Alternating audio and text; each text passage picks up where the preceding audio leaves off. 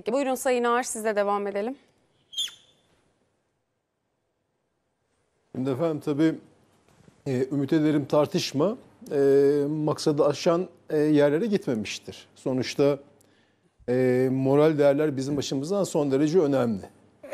Çünkü e, morali olmayan e, milletler mücadele edemezler. Morali olmayan ordular, morali olmayan askerler mücadele edemezler.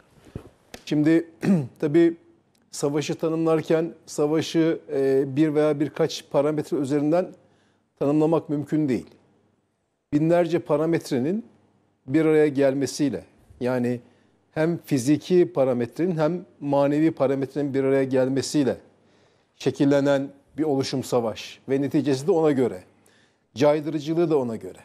Şimdi e, sizin korkunuzun kokusunu düşman alırsa saldırganlığı da ona göre artar. Şimdi ben sonuçta hani bunun havasını atacak kişi değilim. Ama e, örneği kendimden verebilirim. Ben dağdan gelen birisiyim. Bolu Komando Goyu'nda görev yaparken haftanın 3 tane kurşun yedim Kantur Dağı'nda. Ama ondan sonra bu beni çok daha kamçıladı. Özel kuvvetlerde devam ettim. Kayseri Hava İndirme Tugayı'nda devam ettim. Mücadelem hepsinde de dağdaydım. Diğer Balkanlarda ve Kafkaslardaki mücadelelere bir şekilde görevin icapları çerçevesinde katıldım. Bütün bunlar bana şunu öğretti. Biz ölümü ölümün üzerinde giderek yenen bir milletiz. Biz sadece düşmanı değil, ölümü de yıldıran bir milletiz. Bir diğer tarafıyla şöyle bir gelenekten, şöyle bir pratikten geliyoruz. Muharebede yağan mermi yağmuru korkanları korkmayanlardan çok daha fazla ıslatır. Bu tartışma sırasında pek çok mesaj geldi. Bunlar içerisinde belki de en anlamlı olan pilot arkadaşlarımdan gelenlerdi. Şöyle yazmışlar. Biz tatlı su pilotu değiliz. Biz bilekliyiz. Bize bilekli derler dediler. Şimdi bizim böyle bir mücadelede biraz önce ifade etmeye çalıştığım, kendimden ifade etmeye çalıştığım parametrelerle Yunan ordusuna tozunu attıracaklarını söylediler. O kadar kolay değil o iş. Şimdi evet ellerinde bir takım teknik anlamda üstün silah, teçhizat, mühimmat olabilir. Bununla bizim canımızı da yakabilirler. Bakın bunu en baştan söyledim. Bunu okuyorum, görüyorum. Ama bir diğer tarafıyla bunun bedelini en ağır şekilde ödeyecek olanlar yine onlardır, kendileridir. Yani bu sadece bununla da sınırlı kalmaz, yaptıklarıyla da sınırlı kalmaz. Bir diğer tarafıyla şunu söylemek istiyorum. Şimdi 10 tane Yunan uçağını düşürdüğünüzde geride kalan Yunan pilotlarının refleksi ne olur? Bu bence savaşın en temel dinamiklerinden bir tanesi. Şimdi bizim Yunanistan'a karşı bir mütecaviz tutumumuz yok. Bizim Yunanistan'ın toprağında veya kara sahasında, şusunda, busunda gözümüz yok. Ama ülkemize karşı, vatanımıza karşı, hakkımıza karşı, suyumuza karşı bir art niyeti varsa, bir gaspı varsa bunun bedelini ödetmek de boynumuzun borcudur. Bu ne zaman? Onun istediği yer, zaman ve şekilde değil. Hassasiyetlerin farkındayız. Ama bunun bedelini mutlaka ödetiriz. Kendi istediğimiz yerde, kendi istediğimiz zamanda ve kendi istediğimiz şekilde. Onun istediği yerde, zamanda ve şekilde değil. Şimdi savaş her zaman onların istedikleri, okudukları meydanda yapılmaz. Evet buna mecbur kalabiliriz. Bunun bedelini ödetebiliriz. Buna gücümüz yeter.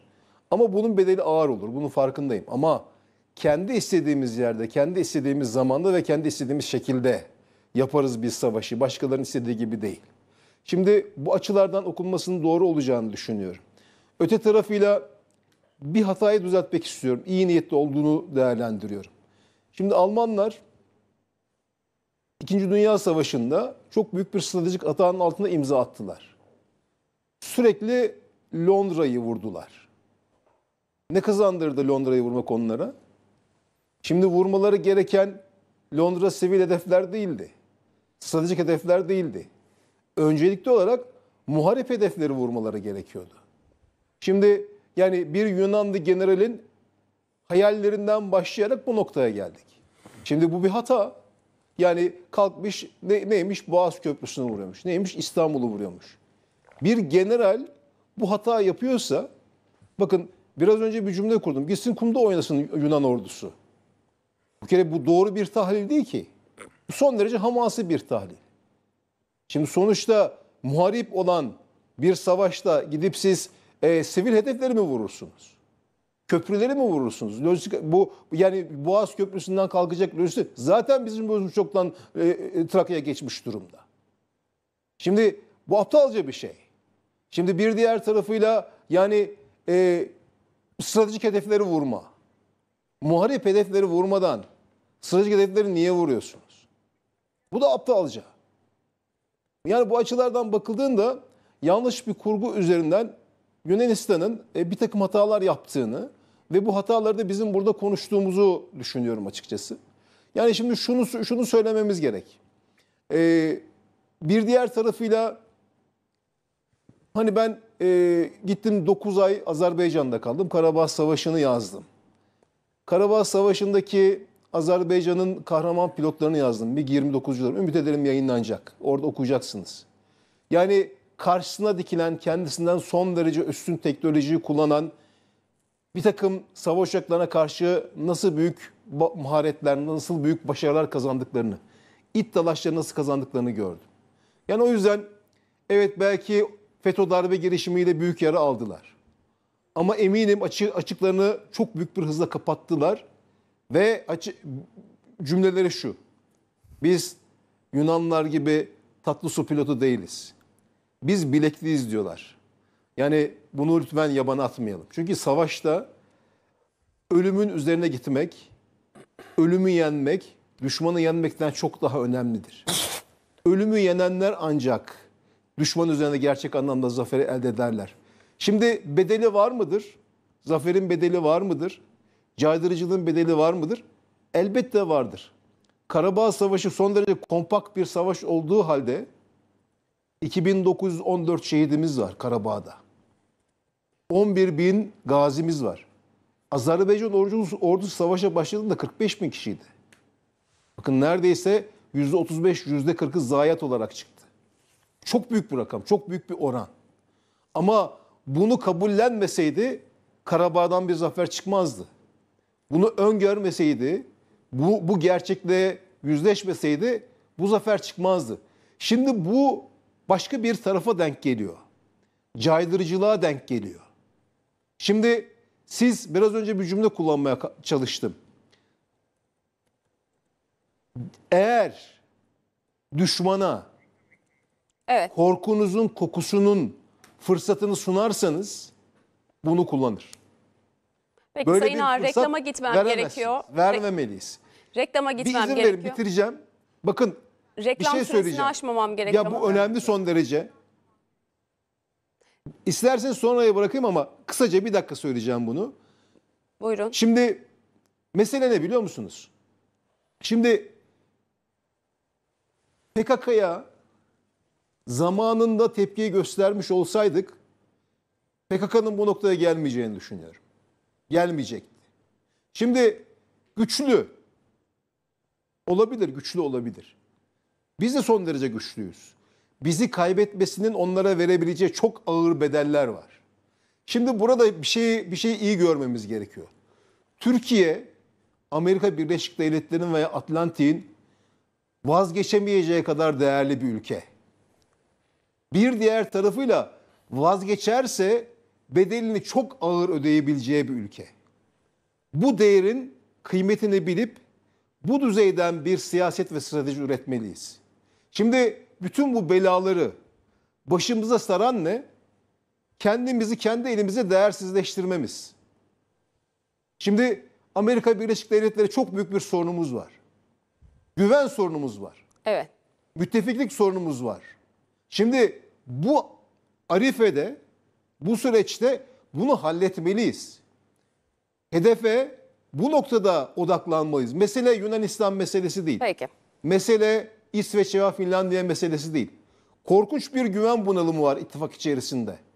Korkunç bir müttefiklik hukukuyla ilgili sorun var. Bunu hallettiğimiz zaman bu Yunanistan meselesi, adalar meselesi her şey hallolacaktır. Ama bunu halledemezsek bunların hiçbirisi hallolmayacak ve her sefer karşımıza çıkıp duracaktır ve başımızı ağrıtacaktır. Başımızı ağrıtan Yunanistan değildir. Başımızı ağrıtan Amerika Birleşik Devletleri, özelde de Pentagon'un ve CENTCOM'un ortaya koymuş olduğu stratejilerdir ve bunun siyasete yansımış halidir efendim. Peki buyurun Sayın Karakuş siz de eklemek istediniz. Yo şeyden sonra lütfen. e, Reklamın sonra- süresini değiştirdik buyurun. Ha, şimdi şöyle söylemek istiyorum. Ee, önemli olan halkın doğruları önlem, öğrenmesidir. Bakın bunu açık açık söyleyeyim. Ben bir havacıyım. Yani bizim hava kuvvetlerimiz hiçbir zaman zaten tatlı su pilotu olmadı. Onu da söyleyeyim. 1963'ten beri 63'te Kıbrıs'taki soykırım nedeniyle hava kuvvetleri yani Türk Silahlı Kuvvetleri savaşa girmek üzereydi. 64 yılında gene aynı şekilde Türk Silahlı Kuvvetleri savaşa girmek üzereydi. Efendim 67 yılında bahsettim 67 yılında.